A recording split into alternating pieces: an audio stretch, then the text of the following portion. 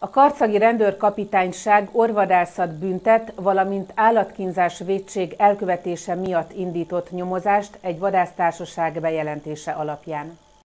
A megalapozott gyanú szerint ismeretlen tettes egy bekerített gyümölcsös különböző helyszínein a drótkerítésen összesen 6 darab drótból készített hurokcsapdát helyezett ki, melyel legkevesebb 5 darab vadnyulat fogott be. A bevezetett rendőri intézkedések adatai alapján a nyomozók azonosították a bűncselekmény elkövetésével megalapozottan gyanúsítható 53 éves kisújszállási férfit, akit elfogtak és előállítottak a karcagi rendőrkapitányságra. A jogsértő férfi gyanúsítotti kihallgatása során a cselekmény elkövetését elismerte.